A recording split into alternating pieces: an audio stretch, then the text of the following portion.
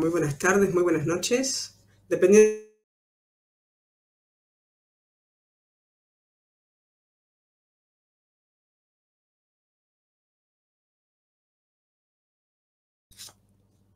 Carlos Julio Correa, él es de Colombia, y participó em, en una, vamos a decir, un concurso em, de escritura creativa que dio en su momento Musas en Papiro. Y bueno, y nos viene a hablar de su relato y, y de sus libros, ¿no? Por cierto, el libro donde sale él en, de Musas en Papiro es este, Celebraciones Macabras que hablaremos más tarde. Ahora vamos a darle paso a Julio para, no, perdón, a Carlos, para que se presente, para que nos hables de su carrera literaria y bueno, nos lea un poco y conocerlo, que es lo principal. Vamos a darle paso. Hola Julio. No, Julio no, Carlos. buenos, días eh, para ti. Sé bienvenido. Gracias, eh, Graciela. Y bueno, cuéntanos un poquito quién es Carlos Julio Correa. Bueno, yo soy un financiero, retiro de la parte financiera. Hoy estoy a cargo de, una empresa, ya no de financiero, sino como gerente general. Eh, lo único que yo escribía hasta hace dos años eran informes a juntas directivas, a bancos, de literatura cero, de vena artística cero. No tenía ni idea me burlaba un poco de eso, porque no creía en eso, pero hace dos, eh, dos, años me atreví a escribir un libro para un legado a mi esposa y mis hijos, y pues eso fue como un boom, salieron unas cosas que no, no pensé que tenía y ahora eh, soy escritor de novelas, soy escritor de diferentes formas de poesía, tengo libros policíacos, tengo escritos oscuros como o macabros, o no sé cómo, cómo clasificarlos. Y pues ahora me río de mí mismo porque pensar que ese muchacho que no tiene ni idea de literatura ahora ha cogido una vena y una carrera impresionante. Yo mismo me sorprendo. Sí, que, yo he visto que vos tenés un, un currículum bastante interesante. Sí. Has participado en varias, en varias, este, varias antologías, bueno, y en varios concursos, ¿no? Sí, diferentes estilos. y diferentes estilos. Eso es multigénero. Sí, yo trato de seguir mi propia huella. leo, leo mucho, eh, leo de, todo un poco, pero para no seguir a ninguno. Está bien. Hombre, hay, que leer mucho porque, mira, cuando siempre dicen que cuando uno lee mucho, ¿no? Se toma, se toma un poquito de aquí, un poquito de allí, para luego escribir lo que uno quiere. Es, es, un modo de aprendizaje, ¿no? Sí, correcto. por, eso, por eso nunca hay literatura mala, siempre hay literatura. Sí, pero literatura, sí. O sea, lo que, uno escribe, lo que uno escribe está expresando un poco lo que tú eres y salvo que tú seas malo, no creo, pero uno está expresando algo, un arte, siempre un arte. Exacto, no creo que nadie sea malo. Hay diferentes formas de escribir. No, no considero que que hay escritores malos, ni escritores malos ni libros malos. Yo siempre digo que lo que hay son gustos distintos. Y ya está. O que, puedes, que puedes mejorar tu estilo, que puedes mejorar tu forma de escribir. Eso sí. Sí, que como un niño, como un niño. Yo no sabo, entonces uno le va a decir, no se dice de esa manera, lo vas a corregir. Hay que jugar siempre con el idioma y con las cosas para que... Sí, correcto. Bueno, Carlos, eh, ¿Cómo compatibilizas la vida familiar, social y la escritura? Es una muy buena pregunta. Aquí en la casa me la hacen y mucha gente. La verdad, yo siempre estoy en función de todo al tiempo. Yo en este momento estoy hablando contigo, estoy pensando qué tengo que hacer en mi empresa y cómo ayudar a mis hijos y a mi esposa. ¿Cómo lo hago? No, ni yo mismo lo entiendo. Eh, creo que es una función, soy hombre, pero es una función que la vida me dio más femenina que masculina porque las mujeres en general pueden atender cinco tareas simultáneamente y nosotros los hombres no. Pero como que a mí me sacaron del molde y puedo atender varias cosas a la vez. No me lo explicar. Sí, eso sí, bueno, sí, eso es verdad. Podemos hacer varias cosas a la vez. A veces, bueno, depende, depende también de la mujer, ¿eh? no sé. Sí, sí, sí, pero no, como norma general, como norma general. Pero como norma general, sí, siempre, somos la, ¿cómo se le dice? La mujer orquesta que hace todo. Sí, multitasking, que dicen acá. Pero bueno, bueno, eso está muy bien, porque, no sé, te ayuda a hacer muchas cosas también y estás pendiente, ¿no? De, tu familia, que eso es lo, importante, ¿no? Eh, porque hay hombres que se dedican solo a la escritura y oye, mira, y pasan de todo y no puede ser. Eso está muy lindo. La verdad que te felicito, sí, señor. Yo puedo estar hablando contigo y puedo estar al mismo tiempo escribiendo una novela, hablando contigo y pendiente de la tarea de química o física de mi hijo. Y si él viene y me pregunta algo, aunque yo siga escribiendo mi, mi libro, le respondo lo que él necesita y cómo eso es una magia y ni intento entender por qué funciona así, pero funciona. pero funciona, sí, funciona y funciona muy bien, sí, a veces sí.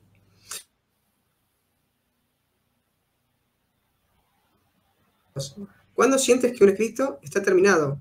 A ver cómo lo corriges, cuál es el proceso creativo que utilizas en tus creaciones. ¿Conoces eso del, del, em, del escritor mapa o brújula? ¿Sentiste hablar alguna vez de eso? No, sí lo conozco y pues yo trabajé 20 años en medios de televisión, vi escribir a Fernando Gaitán desde La Betty la Fea, vi escribir a muchos libretistas en México, en Colombia, en Argentina, ¿sí? ellos, ellos, hacen un mapa, ellos hacen unas escaletas y unas cosas así. Pero mi forma de escribir es totalmente diferente, como digo, no me quiero parecer a nadie. Yo funciono como si fuera un gran rompecabezas metes, todas las fichas en una caja, las zarandeas, ¿sí? Y vas armando por pedazos. Nunca sé cuál va a ser el resultado final. Nunca. Sí, me sorprendo a mí mismo. Y salvo que uno sea muy psicorrígido, creo que no conozco a nadie que arranque un rompecabezas en orden. Uno va armando por pedazos y lo va tratando de ensamblar. ¿sí? ¿Qué pasa en mi estilo? Que una vez ya tengo el rompecabezas y tengo muchos pedazos que se ensamblan, de pronto paso una cuchilla y hago nuevas piezas.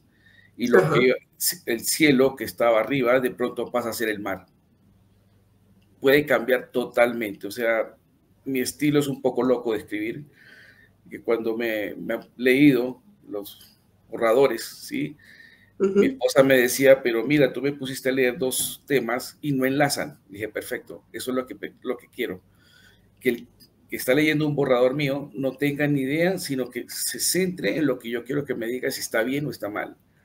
No que cómo enlaza una con otra, que esa es la magia. Después yo coloco el conector, ¿sí? Y sorprendo al lector o a mí mismo. Porque muchas veces el libro ya está terminado, me creo que está terminado y tengo un caso para contar. Y cuando lo leo, me doy cuenta que si le puedo coger el capítulo 1 y volverlo en 5, cambia todo.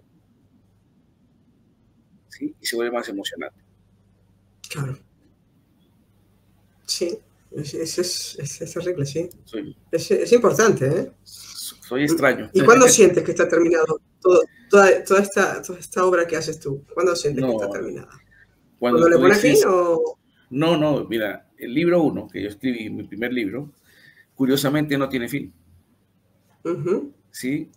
Y yo hablo con mis personajes, yo me siento con el, pues sonará loco, sí, yo me siento con cada personaje y le pregunto cómo se siente, qué quiere hacer, y el, porque creo que uno como escritor tiene que vivir lo que escribe, sí, no es, no es, no es un narrador, no es un narrador, no es un narrador, sí, en algún momento uno narrará algo desde afuera, pero el personaje me dice, mira, me siento así, quiero que digas tal cosa, y le hago caso y me, ahí me sorprendo, ahí yo mismo me sorprendo que a veces el personaje me dice algo que yo no esperaba.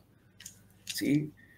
Eh, yo soy muy creyente, soy católico, y a todo el mundo que me pregunta, yo ando con mi ángel de la guarda encima, y él es el escritor básico, con sus amigos, trae amigos, y yo termino siendo la marioneta, y por eso nos sorprendemos todos.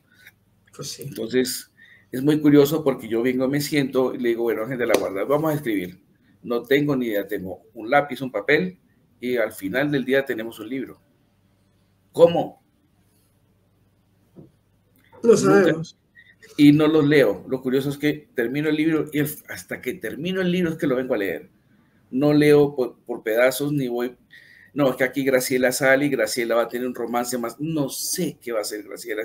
Escribo como la vida. La vida te da sorpresas continuamente. Uno muchas veces dice, voy a viajar a España, voy a salir mañana a España y te caes en las escaleras, no pudiste viajar. ¿Sí? A veces, a veces el plan funciona, a veces no, pero la vida siempre te sorprende y creo que eso es lo que me gusta de mi forma de escribir, sorprender. Y que la gente que lea se sienta eh, como que se envuelva en la, en la historia y lo disfrute. Leer para sufrir, no. Sí, la verdad que no, es la verdad. Bueno, háblanos un poquito de tus libros, de, porque tienes más, ¿no? Tienes... Sí. Cuéntanos. ¿Tienes alguno ahí para mostrar que antes no te pregunté? Bueno. no lo tengo aquí en la mano, pero si me das un minuto lo traigo. pero, pero el, primero, el primero se llama Desde Adentro, ¿sí? Es el que inició con este cuento de que me volví escritor. Eh, yo trabajaba en una empresa y quería contar algunas cosas que no se podían, de ahí el título, ¿sí? Pero después dije, si no lo conté dentro, ¿por qué lo voy a contar afuera? Entonces solo me quedé con el título y de ahí salió una historia sacada de la imaginación, no es, algunos piensan que es mi vida personal, ¿no? De pronto tiene algo porque de todas maneras escritor, cuando uno... Sí, algo le ponemos, ¿no? Algo, sí, algo se le va a uno, quiera o no quiera, algún estilo, alguna forma de pensar. Trata de un muchacho muy rico que le gusta eh, pasar por encima de todo con tal de lograr sus objetivos, un muchacho de 28, 30 años, eh, y algún día mirando por una ventana, tratando de resolver un problema, que creo que nos ha pasado a todos, se quedó mirando una nube, y, y, mirar la nube, ay, tiene forma de elefante, tiene forma de gato, tiene forma de algo, alguna forma. ¿sí? Alguna forma tiene, sí. Creo, creo, que a todos nos ha pasado, sí. Pero a él en especial hay una nube que tiene una forma de cara humana. Entonces se queda mirando la nube, la nube lo mira y de la nube sale una luz, que, una luz roja que lo impacta. Y él empieza a buscar qué es lo que le pasa, lo deja inquieto, encuentra que es en la oficina de su sala de juntas, que es el mediodía, ahí no debería haber nadie, él entra a mirar por qué salía esa luz roja, y hay una chica, una mujer, él es un poco misógino con las mujeres que no conoce, y es muy arribista, ¿sí? muy clasista y encuentra una chica muy bonita, vestida de rojo. Sí, ahí está, el reflejo. Y la chica lo increpa. Por primera vez en la vida una mujer lo increpa. Eso no está en su ADN, ¿ok? Le, cuenta una serie de verdades en, forma de verso, además. Dice cosas en verso. Te mandaré una copia de eh, PDF de ese libro. Vale. Bueno, yo había anotado el título, digo, lo busco en Amazon. Se, llama, se llama Desde Adentro, sí, pero lo increpa, lo pone contra la pared. Y eso, cuando tú estás hablando con él, la rabia que le das, hace este gesto. Cerró los ojos esa milésima de segundo y cuando va a hablar con ella, ya no está. Entonces él se queda impactado.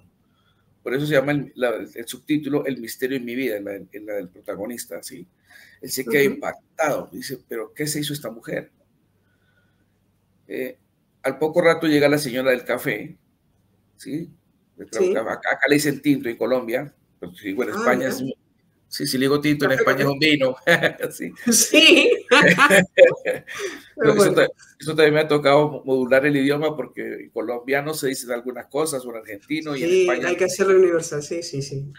Entonces llega la señora del café, le entrega el café y le entrega una rosa que le, que le dio la chica que acaba de salir de la oficina. Entonces dice, pero ¿cómo así que acaba de salir? ¿Por dónde? Y empieza un misterio, ¿sí? Él va y busca en las cámaras de seguridad y en las cámaras de seguridad efectivamente no hay ninguna chica. Se ve cuando llega la señora del café a la oficina, se ve que la señora del café tiene una rosa que aparece de la nada, ¿sí?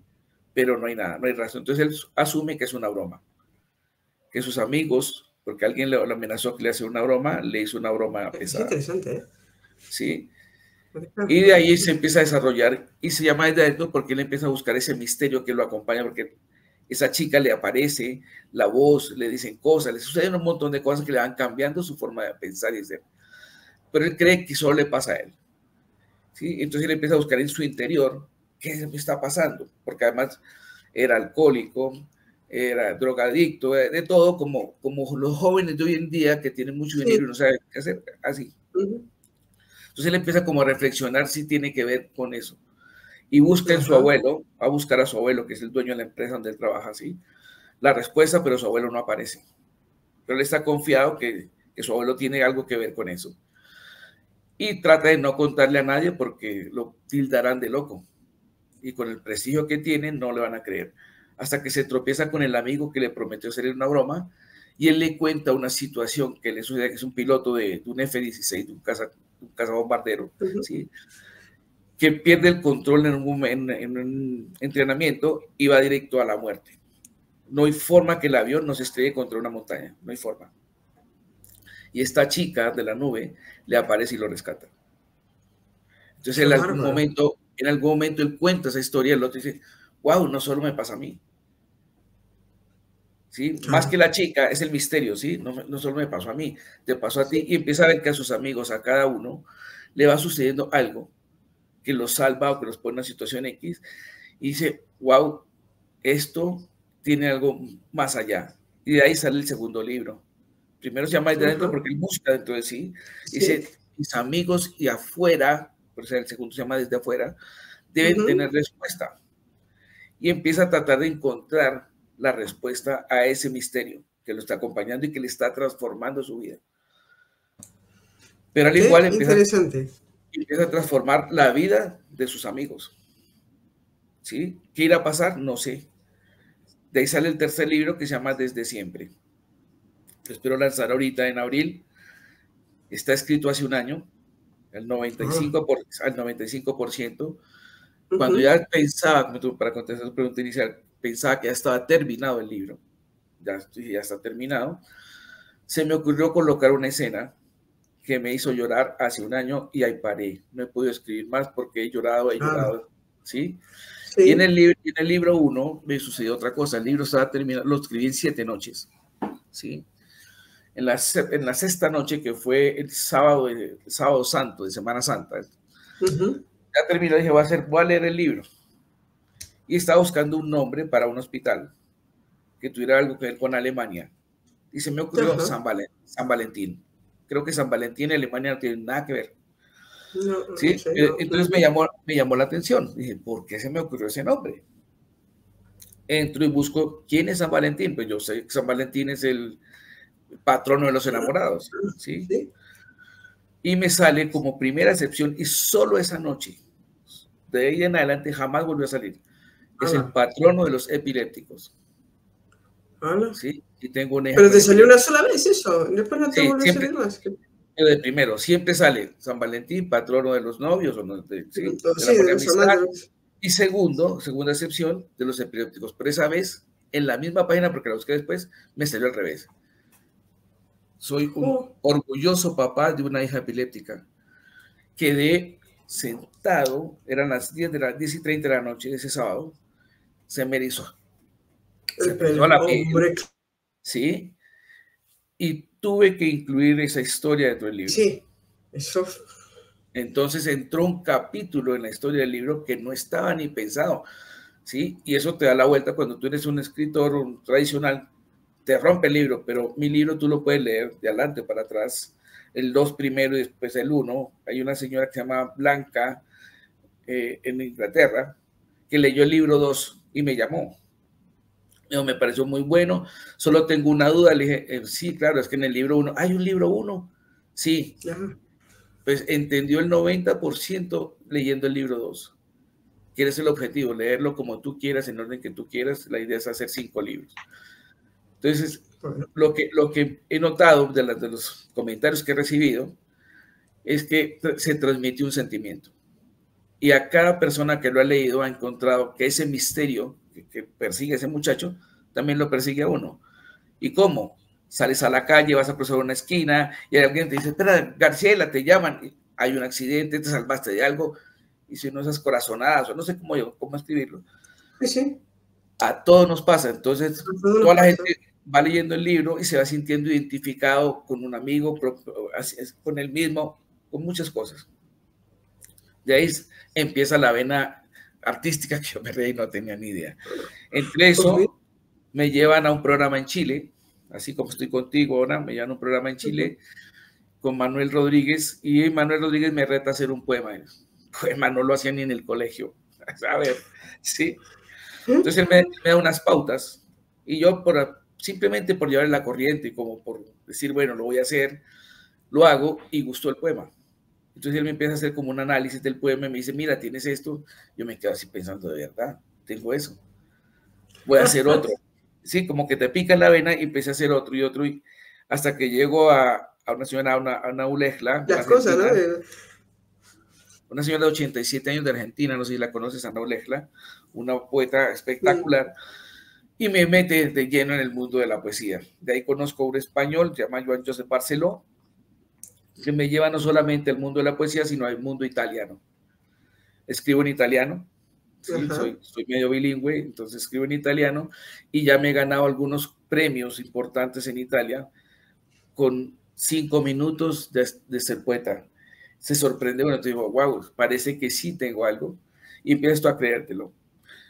En algún momento en todo ese recorrido, para irme hacia donde está la Elena, alguien me habla, alguien me habla de una cosa que se llama calaveritas literarias. Yo, es eso. Por primera vez en mi vida escuchaba eso. Fue en el 2022. dice, no, es que tienes que hacer algo. Entonces investigué. ¿Sí? Porque algo que si hago es que si voy a hablar de un tema, investigo, porque yo no puedo decir que el corazón está en el lado derecho, porque me voy a equivocar, alguien me acuerda y me va a reventar, ¿sí? Entonces investigué, como en las calaveritas, mandé unas calaveritas por, como por reto, ¿sí? Cuando, sorpresa, segundo lugar en las calaveritas, digo, pero no puede ser, ¿sí? yo ni siquiera tengo la, no conocía ni que era la celebración, ¿sí? Ahí conocí a Elena. Y el año pasado, en octubre, me acordé de esas dichosas calaveritas, y le mandé a Elena una calaverita sobre María Félix. ¿sí? Y le dije, María, mira, me acordé de las calaveritas, qué pena, ya creo que ya pasó la fecha, pero no importa, te la quiero regalar como un homenaje a que el año pasado que te conocí, escribí una. Entonces me dice, ay, Carlos Julio, qué pena, pero si teníamos un concurso, le no, no importa, es lo que te quería regalar, un homenaje. Me dice, entonces lo, lo voy a involucrar en el concurso si puedo. Cuando me escribes a la me dice, ganaste. Yo quedé como si que gané, ¿sí? Gané el primer puesto con, con escrito y de ahí me gano el, entrar a la antología de Saralena. De, de, ¿Cómo es? ¿Cómo se llama la antología? Eh, celebraciones macabras, ¿no? Celebraciones macabras. Pero como, como tengo varios estilos, también entré en un concurso de un cuento de más, máximo 100 palabras también de tema mm, oscuro. Y me gané el derecho a participar en una antología también en México. De ahí me invitaron a participar en un cuento. Hice un cuento que, se, eh, que trata sobre una persona que es asesinada, ¿sí? pero él no se da cuenta. Al final del relato es que se da cuenta que lo mataron. ¿sí?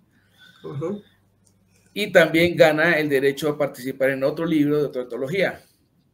Entonces digo, güey, qué, curioso. De todas maneras tengo, algo. bueno, mira, esto está muy bien. Así, así se va uno creciendo. ¿Y tenés algún género literario que te apetezca experimentar y no te atrevas? No, no. Lo único que no escribiría es sobre diabólicos, lo único. Mm. Porque yo tengo una discusión con la gente que escribe temas oscuros, con algunos amigos, sí. Le digo, no sé por qué todos piensan que escribir oscuro o escribir macabro tiene que ver con el demonio, con que te sacan el alma. No sé por qué, eso es diabólico. Eso es tema, Oscuro, tema oscuro para mí, y creo que creo que es Ana Rice la que arranca con estos temas, pero un tema oscuro famoso, Blancanieves. Y la gente no lo ve.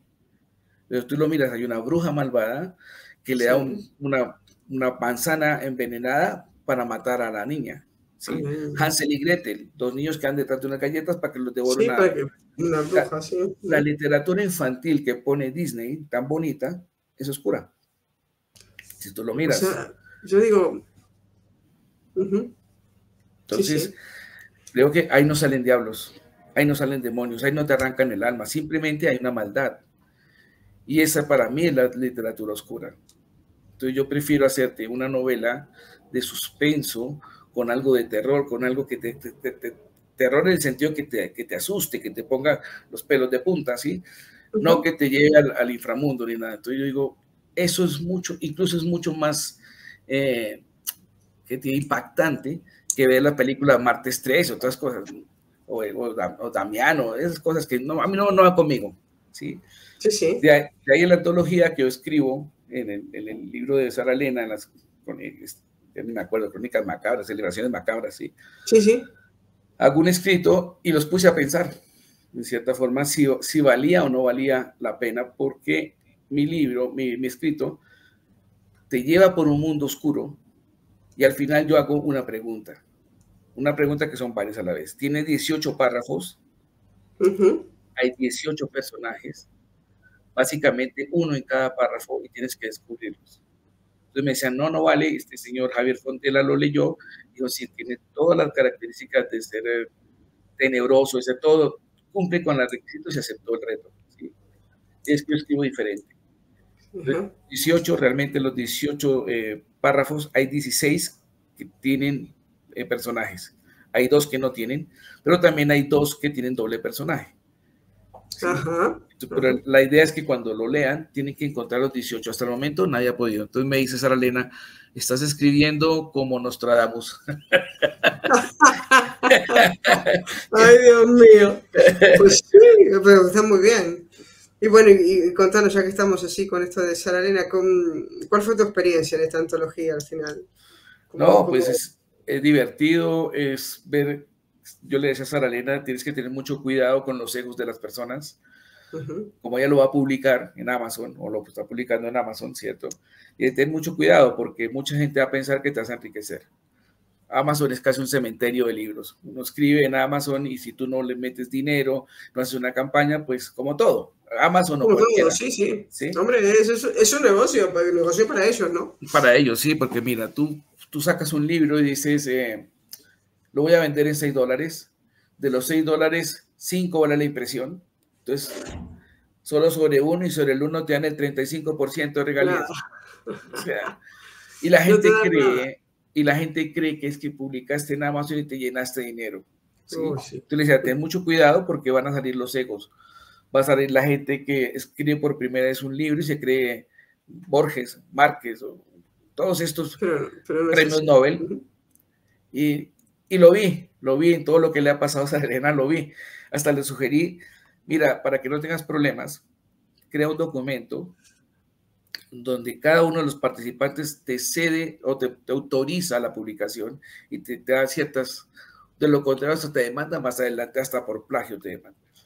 Sí, hay que firmar un documento. Sí, yo también cuando participo en antologías, este, también me hacen firmar un documento. Sí, entonces uno sabe que si estás donando, ah, es que por ahí ella me decía, una persona pensó que, le anticipara mil dólares de la regalía, sí. Claro, sí. mil dólares, nada más y nada menos que mil dólares, ¿no? imagínate. No. no, entonces yo le dije, cuídate mucho en eso y, y me he divertido viendo cómo, cómo ha ido el libro. Yo, yo dije, me voy a morir y no va a salir la, publicado. bueno, está en preventa, ¿eh? Sí, ya, ya, ya, ya, ya, ya, ya, ya, lo compré, pero hubo tantas críticas, tantas cosas, que, la letra, que el color, que le dije, no seas tan democrática. Finalmente, cuando uno publica un libro, tiene que ser un poquito democrático, pero no mucho, porque si no, nunca lo publicas. Pues sí. Pero me divertí, me divertí. ¿Lo querés leer un pedacito de...? ¿Del mío? Este, claro, ya te leo. Vale. Sí, eh, no sé si voy a presentar, no sé si puedo presentar algo. Espérate un momentito. Voy a ver si puedo compartir pantalla. Porque es que tienes que ver la foto. Ah, vale. Vamos a ver si aquí funciona.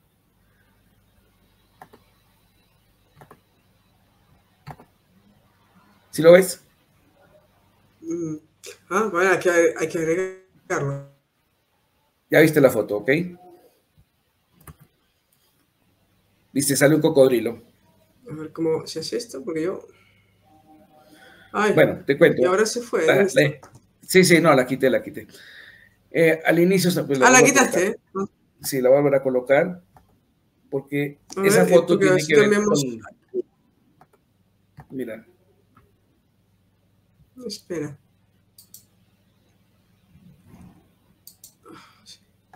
Mira, ya está. Sí, ahí está. Entonces ahí, tú ves, hay un cocodrilo, hay un pantano y hay un ojo al final. Y el cuento se llama Tensa Espera. ¿Sí? Como te dije, cada párrafo que está escrito tiene un personaje. Voy a descifrar uno. Con la mirada fija y cautelosa, se movía con una lentitud pasmosa, Sus ojos color verde esmeralda resaltaban en medio de un lúgubre pantano, donde hasta las almas más avesadas no se atrevían a entrar. ¿De quién estoy hablando? Lo tienes de frente, el cocodrilo. El cocodrilo. Sí, ahí están los ojos verdes, ¿cierto? Las arañas se movían de manera sigilosa. Sabían que al menor descuido quedarían atrapadas en la tela de su propia existencia. Una ingenua gota se desprendía de lo alto, de aquella rama que se mecía a merced del viento, y al caer explotaba el contacto con el agua, repartiendo millones de átomos húmedos alrededor del hábil depredador que ya yacía allí tranquilamente. El ulular lejano de un búho contrastaba con el agudo y desesperante silencio del fangal. Ahí tienes que adivinar quién es el personaje. Es un personaje que no es, eh, que es, eh, como si no se puede tocar, ¿ok? Hay, dos, hay dos personajes que tú puedes tocar, uno es el cocodrilo y el resto son intangibles.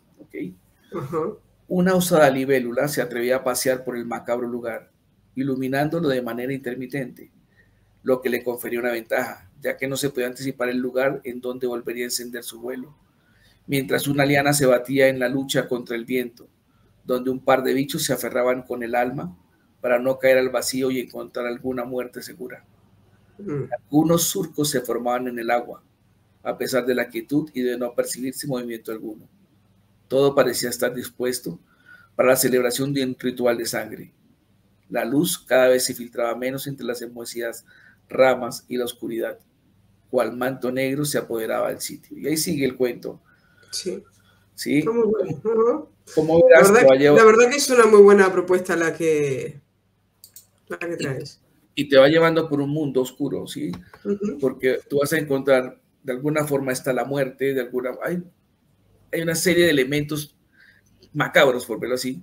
Sí, sí. Porque, porque lo que se trata la historia en realidad es una persona, un ser humano, que una noche cualquiera, sin por accidente, se metió en ese pantano está caminando por el pantano, se va y se va a tropezar, no lo va a ver, no va a ver el cocodrilo, el cocodrilo sí lo vio. ¿sí?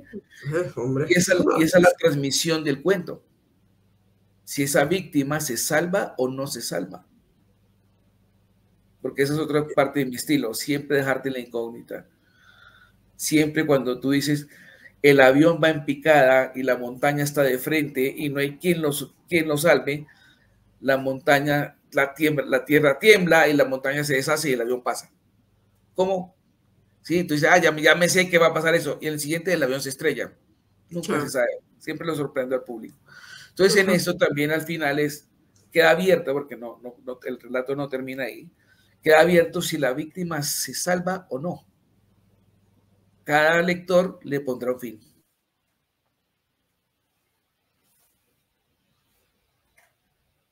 Fin. Ese está muy, es que es, interesante. Y bueno, Carlos, no sé si nos contaste eh, si tenías algún proyecto nuevo. Creo que hablaste de un sí, libro, ¿no? Sí, dos libros. La, como te dije, la tercera parte de, la saga, que voy a hacer cinco libros, que se llama Desde Siempre. Ahí se llama El Misterio Habla, porque la chica misteriosa esta les va a aparecer de frente y les va a hablar. Ahora la pregunta que se hace uno es si lo reconocerán, la reconocerán porque a veces nos pasa también. Sí. Tú te encuentras con una persona que te dice cosas y después nunca la vuelves a ver y, y se te pasa o no, no la escuchaste o vas en, un, vas en un transporte público y alguien habla y es como si te estuviera hablando a ti y dice, oye, yo tengo un problema parecido al que va aquí atrás y uno va escuchando y cuando voltea ya no están. ¿sí? Entonces vamos a ver, porque uno es ciego en la vida, uno pasa ciego en la vida muchas veces. Vamos a ver si estos chicos son ciegos o no si se dan cuenta o no. Y por otra parte, eh, de las cosas curiosas que me pasaron, el, el, año pasado conocí al señor Kurt Savoy, Curro Savoy, que es el silbador más famoso del mundo, ¿sí? Una leyenda. Y pensar que me pide que le escriba su biografía, pues para mí ha sido un orgullo. Realmente eso no estaba, ni siquiera, no conocía al señor, yo no lo conocía. Cuando lo escuché silbar, dije, ay, ya sé quién es acá en América no es conocido, no es tan conocido como sea en Europa y en Estados Unidos, sí. Es el que silba las películas western. De, ah. todas las películas de, de los spaghetti western, él silba ¿sí? Y fue el rey del rock en España en los años 60. a sus, a sus 11 años. Entonces él me pide que le escriba su biografía. Terminamos la biografía y yo estoy escribiendo las anécdotas que no están contadas en su biografía. Libro 2. A petición de él, ¿sí? Entonces para mí como que uno dice, oye, yo soy, yo soy un escritor muy nuevo, tener la oportunidad de contar la vida de alguien en francés y en español se hizo el libro, ¿sí? Sí. Que haya gustado, porque no es una biografía normal, es una poesía, realmente, es una poesía subida. Ha gustado mucho el estilo, entonces estoy en, ese, en esa segunda etapa de ese libro. Interesante, interesante. Bueno, se nos van los segundos. Carlos, eh, danos algún consejo a los nuevos escritores. Eh, no tengan miedo, coge papel y lápiz, digo papel y lápiz porque hoy todo lo hacemos en el computador y, se pierde cierta magia, ¿sí? Papel y el lápiz, tú ves hasta tu caligrafía, escribe, presentarte. Coge papel y lápiz y no tengas miedo, escribe.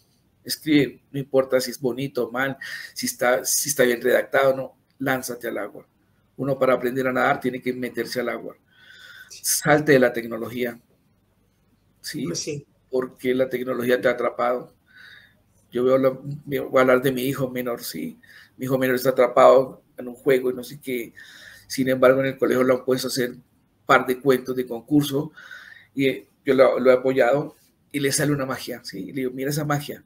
Pero hoy están metidos en sus juegos y, y todo el mundo con dolor de cuello por estar siempre con un celular. Entonces no tengan miedo, escriban, porque es que eso expresa algo de tu alma. Te vas a dar cuenta de lo valioso que tienes dentro eh, cada uno es un diamante en bruto, entonces hay que pulirlo.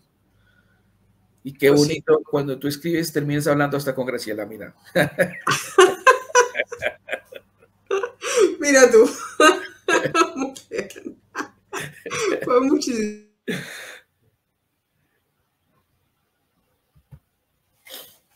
Entramos, ¿dónde compramos los libros? Todo, todo eso. Están en Amazon. Yo, yo realmente eh, creo que comercialmente será un fracaso como dejaré que los libros funcionen solos, pero con mi nombre, tú los buscas en Amazon y ahí están. Eh, porque realmente, como te dije, yo escribí los libros, fue pensando en mi esposa y en mis hijos, como papá escribió un libro, de una frase que hoy en día ya casi no es vigente, de, José Martí, tener un hijo, sembrar un árbol y escribir un libro. Entonces yo tenía los hijos, había sembrado el árbol y me faltaba el libro. Y de ahí salieron una, una serie de cosas que hoy estoy aquí contigo, ¿sí? de haber escrito ese libro. Entonces uno dice, mira, arriesgate, arriesgate. Te lo van a criticar, también prepárate para criticar. No lo que tú escribes no necesariamente va a gustar a todo el mundo, porque está bien o está mal escrito, pues, o sea, se puede corregir en, cuanto a las técnicas, ¿correcto? Pero a veces el ego nos mata, creemos que somos premios Nobel de una vez en el primer escrito. Prepárate para la crítica y ojalá te, te haga una reseña crítica en el sentido que sea propositiva, de que te digan, mira, corrige aquí, no la destructiva, que, desafortunadamente los latinos tendemos mucho a ser destructivos, más que los mm. sajones, ¿sí? No nos apoyamos. Entonces, ponte la coraza y acepta que lo que escribiste, pues, es susceptible de mejorarse. Yo el libro, los libros que escribí, hoy el que te voy a regalar, ¿sí? No es, ya está en Amazon, no es el original, porque me di cuenta que tenía muchas cosas que corregirle pero lo he aprendido con el tiempo y con personas que te van diciendo, mira, me ha gustado tal cosa, perfecto. Porque eso es otra cosa que el libro 2, por ejemplo, tenía un inicio muy diferente al que, al que se publicó. Porque cuando también ya estaba más o menos terminado el libro 2, un amigo me dijo, a mí me hubiera gustado, después de leer tu, libro 1, que arrancaras con tal cosa. Y ya estaba yo como a, a clic de darle a Amazon publicar, ¿no? Y me quedé pensando, si a él lo quiere así, démosle gusto. Y era ese era el capítulo 4. Entonces cogí el 4, lo volví al 1 y me tocó reacomodar. Como te digo, menos mal tengo la facilidad de reacomodarlo. Reacomodé y le di gusto a él. Porque finalmente uno como escritor, si escribes para ti misma, publica para ti misma. Claro. Entonces, si escribes para un público, atiende a tu público. Atiende al público. hay, que, hay, que, ir a lo que quiere. sí, eso, es otro consejo para el que escribe. Escribe Escoge qué quieres escribir, para ti o para que te lean. Cuando te lean, te van a criticar. Y cuando te critiquen, aprende. Escoge lo bueno y desecha lo malo de la crítica. Exacto. hay que ser así. Bueno, ¿y dónde te encontramos? ¿En tus redes sociales? Eh, cuando Julio Correa Molinares en, en el, ¿cómo se llama? Facebook. Soy muy, malo, soy muy malo para las redes, reconozco, soy muy malo para las redes. Fui auditor durante muchos años, entonces trabajaba casi como espía, entonces no tenía, odiaba las redes, ¿sí? Y, o CJ Carslot, eso tiene una historia muy curiosa. CJ es las iniciales de Carlos Julio CJ en inglés, CJ. Ah, ¿sí? Y el car slot es porque tengo una pasión de jugar con carros de pista. Es una pasión que tengo y entonces arranqué, mis, mis redes sociales arrancaron fue con el, la pasión, no con los libros. No con los libros. bueno, mira. y como no, no quería ser famoso, no quería ser, o sea, mi pretensión era mi esposa y mis hijos, pues tenía esa página y ahora cambiarla es imposible. no, la cambies. No, no, deja, Déjala así. He intentado cambiar el nombre de Car Slot porque, digamos, no tiene nada que ver con la literatura, pero el Amazon, el, perdón, el Facebook no deja, no deja, entonces ya quedó así. Tú no la cambies, tú déjala así que está muy bien, que mira, el que quiere te va a encontrar por donde sea. Así que ya está. Bueno, muchísimas gracias por este ratito y será hasta la próxima entrevista cuando saques otro libro, pues te invito a venir de vuelta. Cuando quieras, cuando quieras. Muchas gracias. Realmente para mí es un orgullo que me hayas contactado y bueno, ahí seguimos en este mundo literario. Muchas gracias. Nos seguimos viendo por ahí. Venga, un besito. Chao, gracias a todos. Hasta luego.